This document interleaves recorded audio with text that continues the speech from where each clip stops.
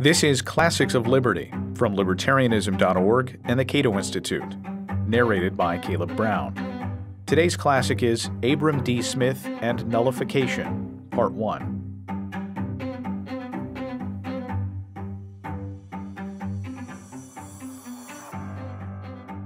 Virtually no one is aware that Abram D. Smith ever existed. His life has almost gone unnoticed by historians. Yet Abram D. Smith was not only floated by some for vice president on the Republican ticket in 1860, but he briefly served as president of the Republic of Canada more than two decades earlier. Smith was born in 1811 in one of the many upstate New York small towns dotting the Adirondacks, likely an antinomian Congregationalist. As a young man and law student, Smith encountered the radical classical liberal philosophy of the New York Locofocos imbibed deeply in their brand of romantic revolutionary republicanism, and moved west with his family. The Smiths settled in Ohio, and Abram threw himself into Democratic politics. As a city councilman in Cleveland, he delivered speeches of the ultra locofoco kind, in the words of a local paper. In his spare time, he conspired with fellow brother hunters and patriots, as they called themselves, to violently overthrow British rule in Canada. When the attempted Canadian rebellion promptly dissolved, Smith returned to a relatively obscure life of quiet reformism.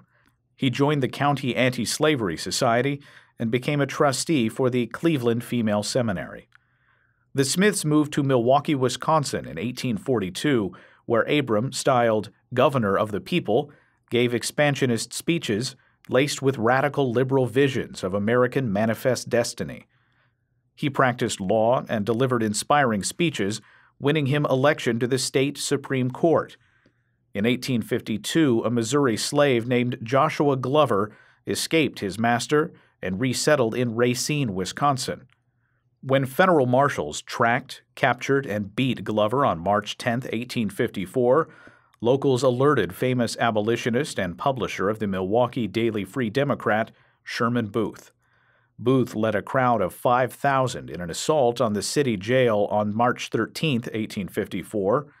The crowd broke into the jail, freed Glover, and made public demonstrations of their victory. Officials soon charged Booth with aiding and abetting a fugitive slave. Booth's attorney, Byron Paine, appealed to the court to release his client, claiming that the Fugitive Slave Act violated the rights of Wisconsin by denying citizens due process of law. Smith's decision of June 7, 1854, nullified the Fugitive Slave Act in the state of Wisconsin. In the first of two selections from Smith's arguments, he explains the nature of the case before him, weighs the various claims involved, and explains his reasoning that the Fugitive Slave Act was indeed an unconstitutional breach of authority incommensurate with the national government's strictly delegated powers.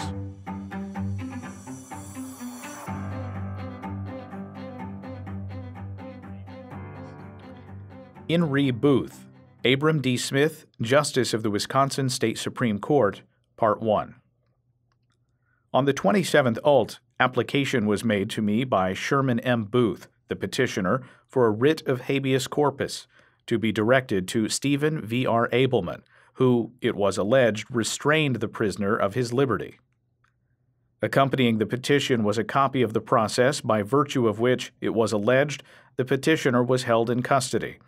This warrant charged Booth with having, on the 11th day of March, 1854, at the city of Milwaukee, in said county and district, unlawfully aided, assisted, and abetted a person named Joshua Glover, held to service or labor in the state of Missouri under the laws thereof, and being the property of one Benamy S. Garland, and having escaped therefrom into the state of Wisconsin, to escape from the lawful custody of Charles O. Cotton, a deputy of the Marshal of the United States for said district, pursuant to the provisions of the Act of Congress in that case made and provided, approved September 18, 1850.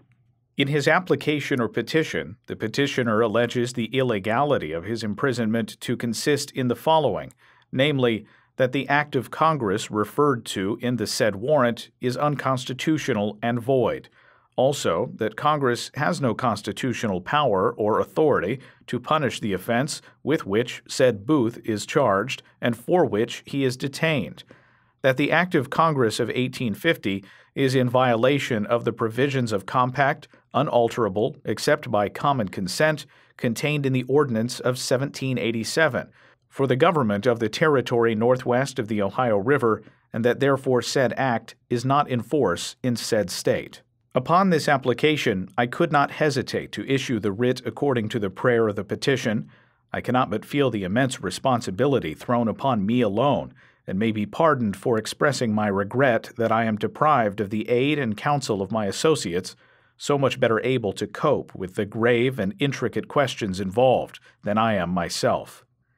Whether by design or from necessity, this application has been made to me, I meet the emergency with all the anxiety and concern which it cannot fail to excite, and I hope, with some share of the firmness which the occasion and the nature of the questions involved imperatively demand. The warrant by virtue of which the petitioner was held was not issued by a federal judge or court, but by a commissioner of the United States. No exclusive or ultimate jurisdiction can be claimed for an officer of this kind. As one of the justices of the highest judicial tribunal in this state, which tribunal represents in that behalf the sovereignty of the state, I could not deny to any citizen or person entitled to the protection of the state the proper process by which the validity of a warrant issued by such authority could be examined. Indeed, we may go farther and say that as every citizen has a right to call upon the state authority for protection, and as the judicial power in that only to which application can usually be made by the citizen, it is the duty of the judicial officer, when applied to, to see that no citizen is imprisoned within the limits of the state, nor taken beyond its limits, except by proper legal and constitutional authority. It is not in the power of anybody to divest the state judiciary of such authority, nor can anybody but the people themselves absolve the judicial officers of the state from the performance of their duty in this behalf. The states will never submit to the assumption that United States commissioners have the power to hear and determine upon the rights and liberties of their citizens and issue process to enforce their adjudications which is beyond the examination or review of the state judiciary. They will cheerfully submit to the exercise of all power and authority by the federal judiciary, which is delegated to that department by the federal Constitution. But they have a right to insist, and they will insist that the state judiciary shall be and remain supreme in all else, and that the functions of the federal judiciary within the territory of the states shall be exercised by the officers designated or provided for by the Constitution of the United States, and that they shall not be transferred to subordinate and irresponsible functionaries holding their office at the will of the federal courts, doing their duty and obeying their mandates, for which neither the one nor the other is responsible. Every jot and tittle of power delegated to the federal government will be acquiesced in, but every jot and tittle of power reserved to the states will be rigidly asserted and as rigidly sustained. It is only by exacting of the federal government a rigid conformity to the prescribed limitation of its powers, and by the assertion and exercise of the part of the states of all the powers reserved to them, and a due regard by both of their just and legitimate sphere, that obedience can be rightfully exacted of the citizen to the authority of either. The Constitution of the United States is the fundamental law of the land. It emanated from the very source of sovereignty as the same is recognized in this country. It is the work of our fathers, but adopted and perpetuated by all the people, through their respective state organizations, and thus become our own. The citizen has, by his vote, mediate or immediate, established it as the great charter of his rights and by which all his agents or representatives in the conduct of the government are required to square their actions. I recognize most fully the right of every citizen to try every enactment of the legislature, every decree or judgment of a court, and every proceeding of the executive or ministerial department by the written, fundamental law of the land. No law is sacred, no officer so high, no power so vast that the line and the rule of the Constitution may not be applied to them. It is the source of all law, the limit of all authority, the primary rule of all conduct, private as well as official, and the citadel of personal security and liberty. Everyone has a right to resist an unconstitutional enactment of the legislature, but he does so upon his peril until the conformity or nonconformity of the act with the Constitution is judicially determined.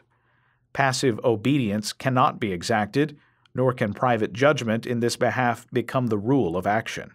To yield a cheerful acquiescence in and support to every power constitutionally exercised by the federal government is the sworn duty of every state officer. But it is equally his duty to interpose a resistance, to the extent of his power, to every assumption of power on the part of the general government which is not expressly granted or necessarily implied in the federal Constitution. Nor can I yield to the doctrine early broached, but as early repudiated, that any one department of the government is constituted the final and exclusive judge of its own delegated powers. No such tribunal has been erected by the fundamental law. To admit that the federal judiciary is the sole and exclusive judge of its own powers and the extent of the authority delegated, is virtually to admit the same unlimited power may be exercised by every other department of the general government, both legislative and executive, because each is independent of and coordinate with the other. Neither has any power but such as the states and their respective people have delegated, and all power not delegated remains with the states and the people thereof in view of the vastly increasing power of the federal government and the relatively diminishing importance of the state sovereignties, respectively, the duty of the latter to watch closely and resist firmly every encroachment of the former becomes every day more and more imperative, and the official oath of the functionaries of the state becomes more and more significant. Increase of influence and patronage on the part of the federal government naturally leads to consolidation, consolidation to despotism, and ultimately anarchy, dissolution, and all its attendant evils. If the sovereignty of the states is destined to be swallowed up by the federal government, if consolidation is to supplant federation, and the general government to become the sole judge of its own powers, regardless of the solemn compact by which it was brought into existence, and of the source of its own vitality, as a humble officer of one of the states, bound to regard the just rights and powers both of the Union and the states, I want my skirts to be clear, and that posterity may not lay the catastrophe to my charge. I am truly thankful for the same feeling of conscientious firmness on entering upon the discharge of the duty before me as would be required in case of direct invasion, open rebellion, or palpable treason against our common country. Without the states, there can be no union. The abrogation of state sovereignty is not a dissolution of the union, but an absorption of its elements. He is the true man, the faithful officer, who is ready to assert and guard every jot of power rightfully belonging to each, and to resist the slightest encroachment or assumption of power on the part of either. Suppose, in a time of profound peace and quiet, the federal government should pass a law suspending habeas corpus would the state governments have the power to call to account the federal officers who had violated the compact in this behalf, the Congress who had passed, and the executive who approved it? Would the state courts be bound by it? Not at all. Such an act of Congress would simply be void, and it would be the duty of every state and federal court so to pronounce it, and it would afford no protection to any officer, state or federal, for refusing to obey such writ. I mention these illustrations to show that a great portion of our federal Constitution rests in compact, while still another rests in grant. Where powers are granted, they are to be exercised. Where rights rest in compact, they have still the force of law. But the federal government has no power to legislate upon them. They are to be obeyed and enforced by the parties to the compact, the states themselves.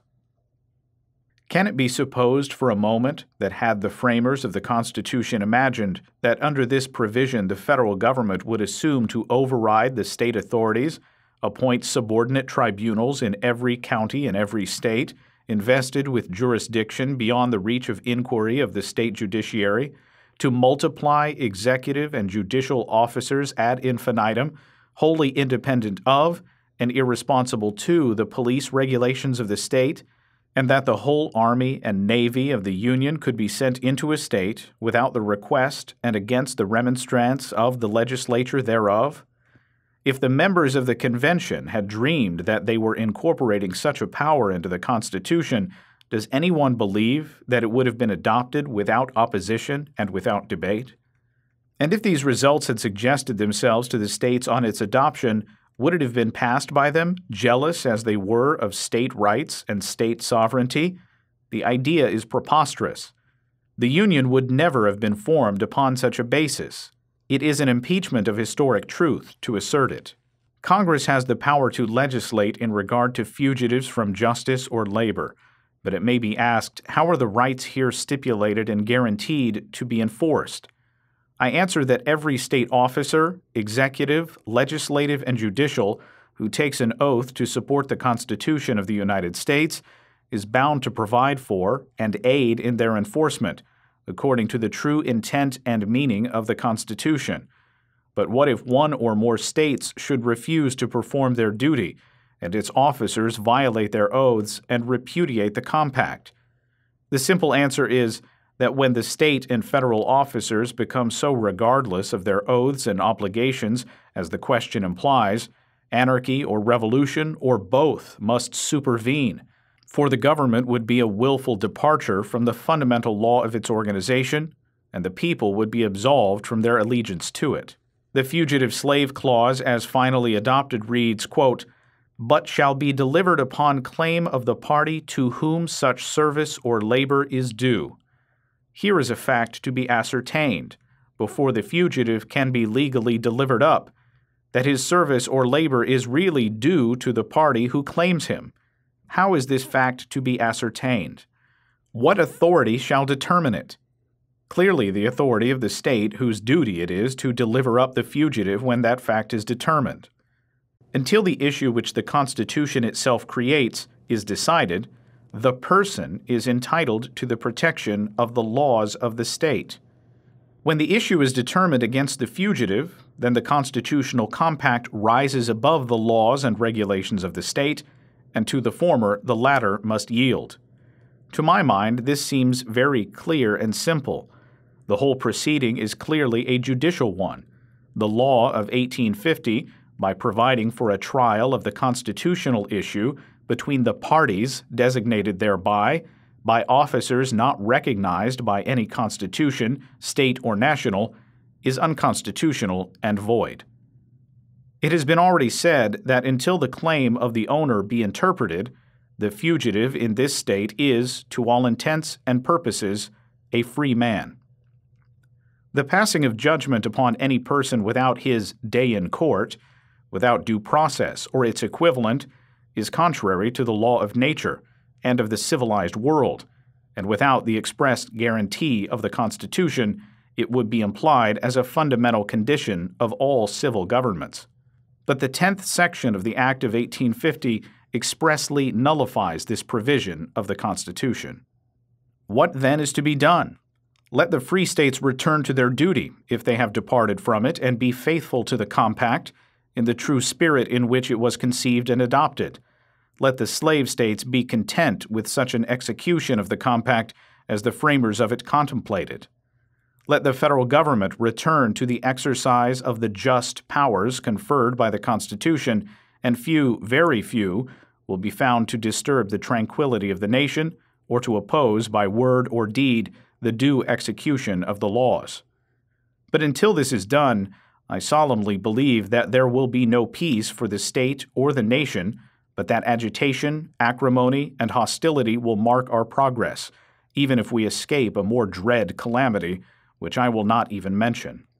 However, this may be, well knowing the cost, I feel a grateful consciousness in having discharged my duty and full duty, of having been true to the sovereign rights of my state, which has honored me with its confidence and to the Constitution of my country, which has blessed me with its protection. And though I may stand alone, I hope I may stand approved of my God, as I know I do of my conscience. That was Abram D. Smith and Nullification, Part 1. Find more classics of liberty at libertarianism.org.